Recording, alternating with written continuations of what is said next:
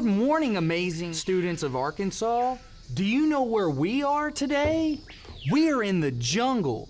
And today we will be learning about how plants and animals depend on each other as well as their surroundings to meet their needs.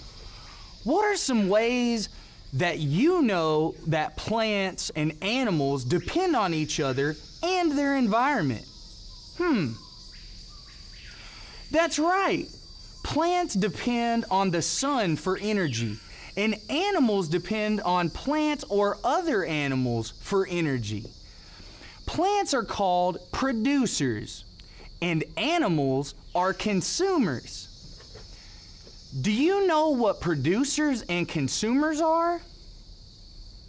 Yes, great job. Producers get energy from the sun and water to make their own food. Consumers cannot do this, so they must eat producers and other consumers to get their energy. Now that we've discussed producers, let's think about where they live. Hmm. That's right. Plants and animals are all part of an ecosystem or habitat.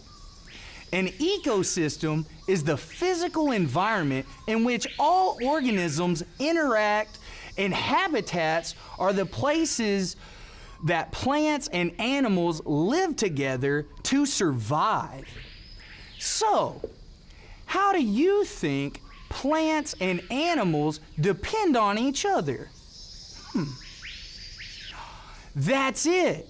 Plants and animals need each other not only for food, but also things like shelter and pollination for overall survival.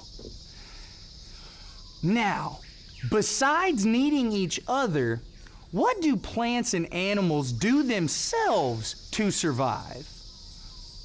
Let's think about that. Yes, they adapt. Let's think of ways these plants and animals can adapt to survive. Take this chameleon, for example. How could it adapt? Hmm. That's right. It can use camouflage to hide itself from other animals or plants to hunt its prey. What is a plant that could adapt for hunting prey? Hmm. One of my favorites is the Venus flytrap. What is that, you ask? It is actually a plant that pretends to be normal but will eat bugs and spiders for food. Pretend that my hand is the plant. It will allow them to land on its mouth disguised as a flower, and then, boom, it chomps down and eats them. Wow, that's amazing. What about a house plant?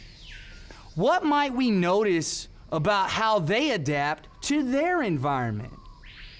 Have you ever noticed that when you put a plant in your house, it leans to wherever the light from the window is? That is the plant adapting.